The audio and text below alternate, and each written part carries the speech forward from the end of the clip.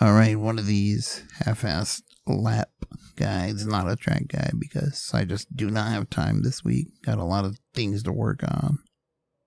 So, we'll just post this lap, my inputs, lap time, and my settings are all on screen, hopefully, and here's a lap.